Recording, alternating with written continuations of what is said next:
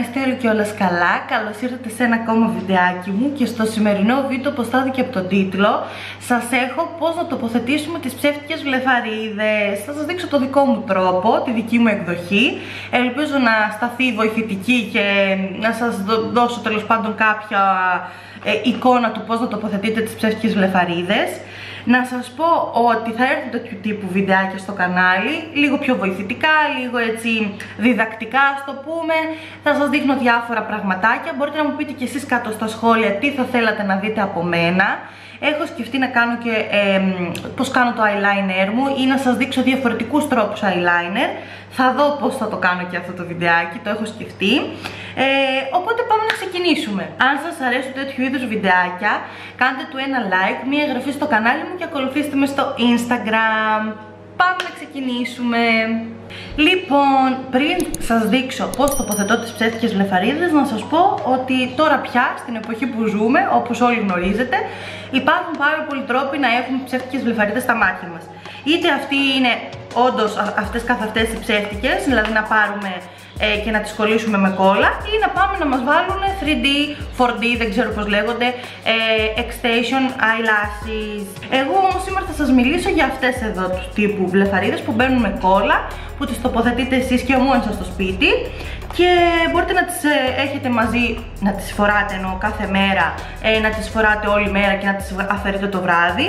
Και πάμε να σας δείξω μια έτσι τοποθέτηση βλεφαρίδων στα μάτια ώστε να σας βοηθήσω γιατί θέλει λίγο εξάσκηση η αλήθεια είναι, δεν είναι και πάρα πολύ εύκολο και εγώ στην αρχή δυσκολεύτηκα πάρα πολύ και στον εαυτό μου και στους άλλους. Ε, θα έλεγα ότι είναι πιο δύσκολο στον εαυτό. Εγώ προσωπικά βρήκα πιο δύσκολο να το κάνω στον εαυτό μου. Ε, παρά να το τοποθετήσω στους άλλους. Τέλος πάντων δεν θα πω άλλα. Πάμε να ξεκινήσουμε να σας δείξω πώς θα τις τοποθετήσετε στα μάτια. Εγώ σήμερα θα χρησιμοποιήσω αυτές εδώ πέρα από Ardell, τις Demi Wispy, αυτές εδώ δεν ξέρω αν βλέπετε το σχεδιάκι. Τα σχέδια ποικίλουν. Κάποια είναι πιο δραματικά, κάποια είναι λίγο πιο απαλά, κάποια είναι πεταλουδέ, δηλαδή στην άκρη ανοίγουν πιο πολύ και μπροστά είναι λίγο πιο κοντά. Υπάρχουν πάρα πολλά. Υπάρχουν τα 3D, υπάρχουν τα πολύ έντονα, τα δραματικά. Ε, ε, υπάρχουν πάρα πολλές εταιρείες εκεί έξω. Ε, η Ardell είναι αρκετά γνωστή εταιρεία, έτσι και προσοχή θα την έλεγα. Οπότε ναι, εγώ διάλεξα αυτό το πακετάκι και πάμε να τις τοποθετήσουμε. Θα σας φέρω λίγο πιο κοντά για να δείτε όλη τη διαδικασία αναλυτικά. Λοιπόν, αφού σας έφερα πιο κοντά, να σας δείξω καλύτερα τις βλεφαρίδες. Είναι αυτό εδώ το σχεδιάκι. Κάνε focus. Αυτό εδώ. Λοιπόν, και εννοείται ότι το βγάζουμε απαλά, θα σας δείχνω και τον τρόπο, είτε το τραβάμε έτσι με το χέρι μας απαλά, ή εγώ το πιάνω έτσι από την άκρη όμορφα όμορφα και το βγάζω, την αφαιρώ και έτσι όπως την κρατάω θα τη μετρήσω στο μάτι μου. Εμένα με βολεύει πάρα πολύ να παίρνω το τσιμπιδάκι των φρυδιών και να κάνω με αυτό τη δουλειά μου γιατί δεν με βολεύει με τα χέρια, κάποιους θα τους βολεύει πάρα πολύ με τα χέρια. Λοιπόν, αυτή η βλεφαρίδα βλέπετε ότι ξεκινάει, θέλω να βλέπετε, λοιπόν, ξεκινάει πιο κοντή, κάνει focus, πιο κοντή στην αρχή, εδώ δηλαδή, και καταλήγει λίγο πιο ε, να κάνει πεταλουδέ, να είναι λίγο πιο μεγάλες τριχούλες της. Οπότε καταλαβαίνεις αμέσως ότι από εδώ ξεκινάει και από εδώ τελειώνει και ότι είναι για αυτό το μάτι. Λοιπόν, ξεκινάμε τώρα να σας δείξω πώς θα τοποθετήσουμε τις βλεφαρίδες. Παίρνω τη βλεφαρίδα μου που σας έδειξα, την πιάνω με το τζιμπιδάκι και την βάζω, κοιτάω λίγο προς τα κάτω και την ακουμπάω εδώ από πάνω για να δω αν είναι στο μέγεθος που θέλω ή αν θέλει κόψιμο. Κατά τη δική μου γνώμη και με μια πρώτη ματιά δεν θέλει τριμάρισμα γιατί μπαίνει ακριβώς, εφάπτει ακριβώς τα μάτια μου. Εντάξει, τώρα φαίνεται ότι δεν είναι κολλημένη, απλά έτσι την έχω τοποθετήσει πρόχειρα έτσι ώστε να δείτε αρχικά τη διαφορά και να δείτε ότι δεν προεξέχει από εδώ. Λοιπόν, η κόλλα είναι αυτή εδώ η Duo. Ε, στεγνώνει διάφανη, έχει πράσινα γραμματάκια, να πάτε να την πάρετε γιατί τη συνιστώ. Η, γενικότερα είχα και μια άλλη που ήταν σε σωληνάριο, η μπλε, που στεγνώνει και αυτή η διάφανη, αλλά αργεί να στεγνώσει, θέλει λίγο το χρόνο της. Ενώ αυτή εδώ πέρα πραγματικά σε δευτερόλεπτα έχει στεγνώσει. Πιάνω λοιπόν τη βλεφαρίδα μου και θέλω να δείτε όλη τη διαδικασία. Λοιπόν, έχω πάρει το τσιπιδάκι, παίρνω τη βλεφαρή, την κόλλα μου και πάω και πατάω ακριβώς στο μπαντ, στη γραμμή δηλαδή της βλεφαρίδας, μία πλούσια ε, στρώση από κόλλα. Όταν βάζω ε, κόλλα στις ψεύτικες βλεφαρίδες για να, να την τοποθετήσω σε πελάτησα, πάντα και στον εαυτό μου το κάνω αυτό, βάζω ένα τσικ στην εξωτερική γωνία παραπάνω και ένα τσικ στην ε, εσωτερική. Δηλαδή κάνω μια μικρή μπιλίτσα και θα σας το φέρω κοντά κοντά να το δείτε. Να δείτε ακριβώς τι έχω κάνει, βλέπετε. Έχω βάλει αυτή τη στρώση τέλος πάντων και στην εξωτερική και στην εσωτερική γωνία έχω βάλει λίγο περισσότερο. Θέλω να κάνει focus να το δείτε. Ωραία. Αυτό τώρα την κρατάω έτσι λιγάκι Τη δίνω λίγο το χρόνο της, κάποια δευτερόλεπτα και τώρα να τη βάλω, απλά θα γλιστράει λίγο. Εμείς δεν θέλουμε να γλιστράει. Ωστόσο, να σας πω ότι έχω κάνει ένα πάρα πολύ απλό μακιγιάζ. Δεν έχω βάλει καθόλου eyeliner γιατί θα χανόταν λίγο η διαδικασία με το eyeliner. Να ξέρετε ότι το eyeliner όταν το βάζουμε στο μάτι, ακόμα και αν δεν τραβήξετε την εξωτερική γραμμή να κάνετε το τριγωνάκι τέλος πάντων, ε, καλύπτει όποια τέλος πάντων ε, ανομοιομορφία έχετε κάνει στη βλεφαρίδα. Δηλαδή, αν έχει βάλετε έστω και λίγο στραβά, με το eyeliner δεν θα φανεί γιατί είναι μαύρο και χάνεται. Ενώ σε γυμνό μάτι με μια απλή σκιά, με ένα απλό μακιγιάζ θέλει να είστε λίγο πιο ακριβείς. Εγώ θέλω να το δείτε στο καθαρό μάτι με την έννοια ότι έχω βάλει έτσι ίσο μια καφέ σκιά για να δείτε ότι... να δείτε λίγο τη διαδικασία πιο καθαρά γιατί με το eyeliner χάνεται λίγο που, που κολλάει η βλεφαρίδα και θέλω να, είμαι λίγο, να, να μπορείτε να διακρίνετε κάποια πράγματα. Οπότε αφού τις έχω δώσει το χρόνο που χρειάζεται. Επίσης μπορείτε να τις αφήσετε και παραπάνω, τη βλέπετε ότι αρχίζει και διαφανίζει σε κάποια σημεία. Χάνει δηλαδή αυτό το, το λευκό και αρχίζει να γίνεται πιο διαφανές. Οπότε σας δείχνει και αυτό το πράγμα ότι είναι έτοιμη για να κολλήσει και έχει γίνει λίγο πιο κολλώδες. Οπότε τώρα θα σας ξαναζουμάρω πάλι στο πρόσωπό μου και θα σας δείξω πώς την τοποθετώ. Λοιπόν, έβγαλα αυτή τη βλεφαρίδα, δεν την ένιωθα πάρα πολύ καλά, θα την ξαναβάλω, μην νομίζετε. Λοιπόν, και πλησιάζω για να βλέπετε. Σκύβω, κοιτάω λίγο προς τα κάτω και πάω και ακουμπάω ακριβώς στο κέντρο. Την αφήνω, πιάνω την εξωτερική γωνία της, την ακουμπάω και αυτή, πιάνω τώρα την εσωτερική και ακουμπάω.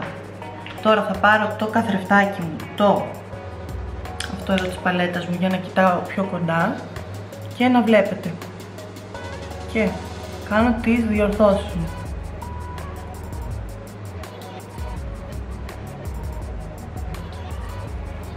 Και πάρω, παίρνω αυτό εδώ το πουλί, πώς το λένε.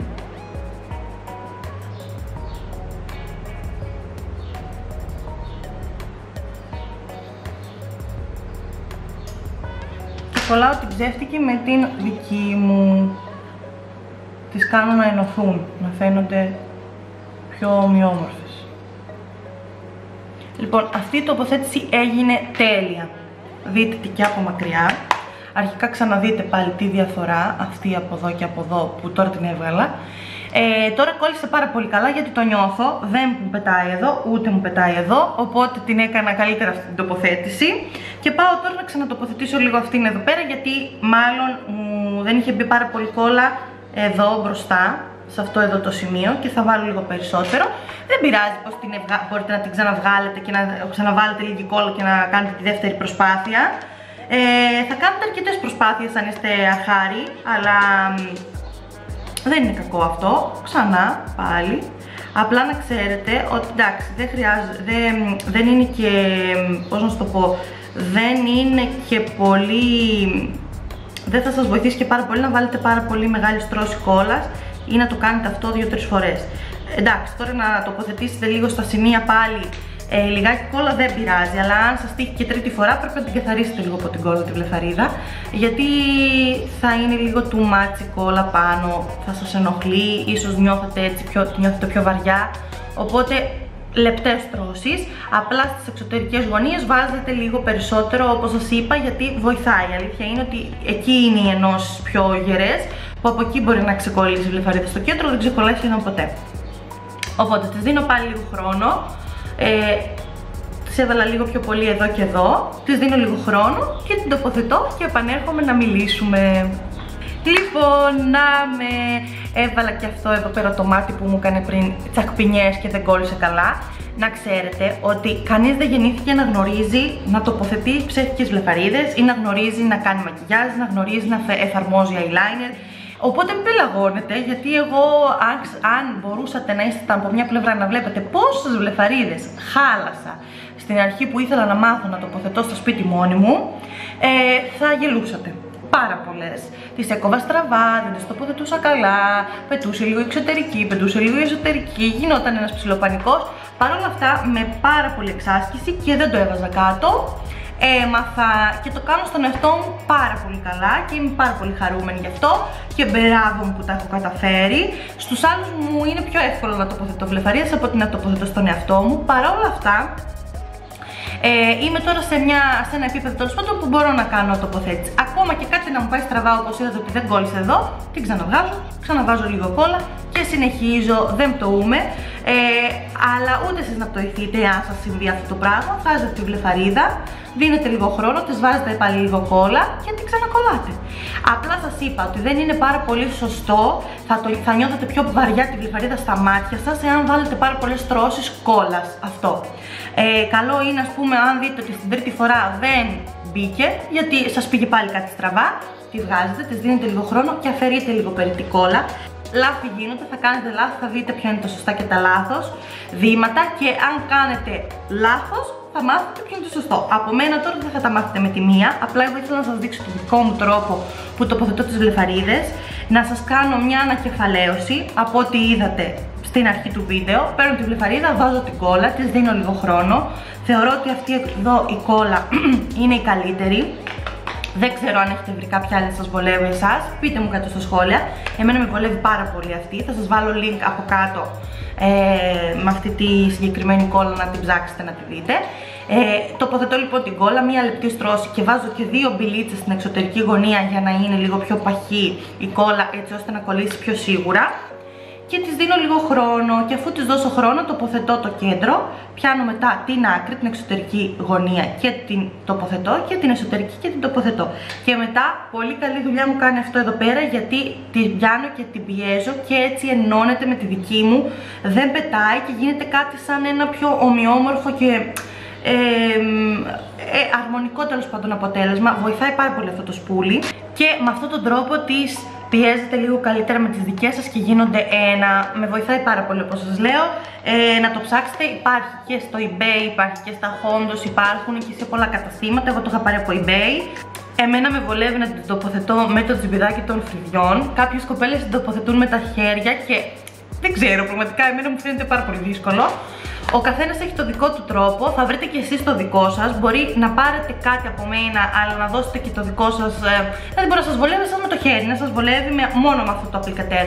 Ή να σας βολεύει με άλλο τζιμπιδάκι φρυδιών. Ή να σας βολεύει να κολλάτε πρώτα την εξωτερική και μετά την εσωτερική. Ε, δεν ξέρω, ο καθένας θα βρει τον τρόπο του και τα βήματά του. Εγώ σας, απλά σας είπα έτσι το πιο ευρέως γνωστό τρόπο και δρόμο για να τοποθετήσετε την ψεύτικη βλεφαρίδα.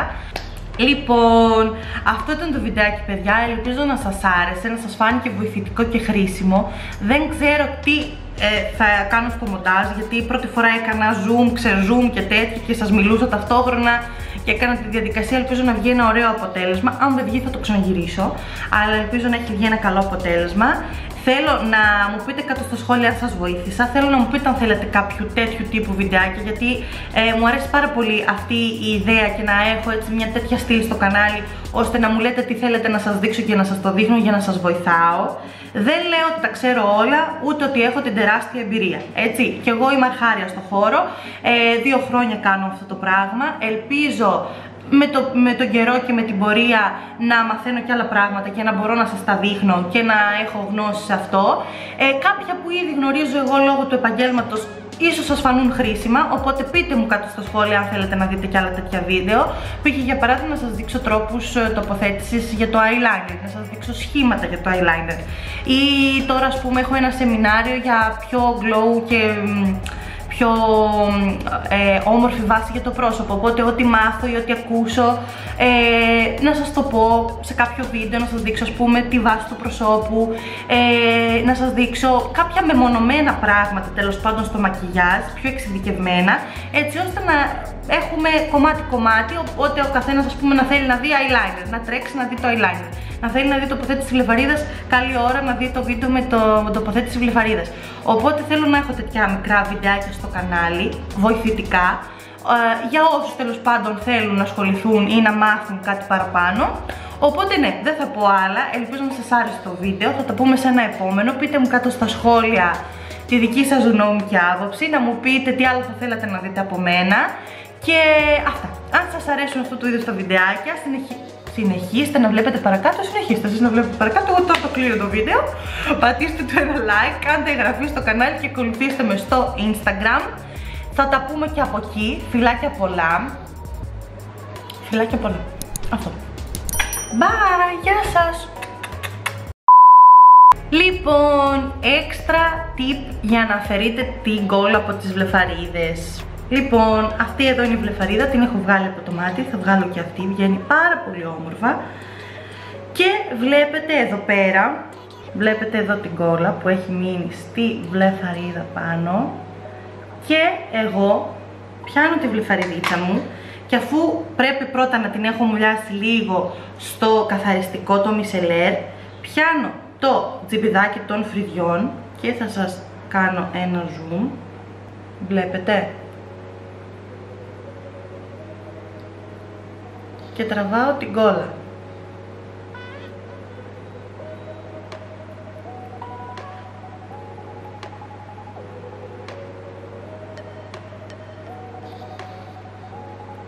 Θα σας δείξω τώρα εδώ. Βλέπετε τη βλεφαρίδα αυτήν εδώ. Πώς είναι η αρχή της, πιο καθαρή. Πώς είναι εδώ, προς το τέλος, φαίνεται η στρώση. Ενώ εδώ φαίνεται πιο λεπτή, Εκεί φαίνεται λίγο πιο χοντρούλα. Και συνεχίζω με το τζιμπιδάκι μου.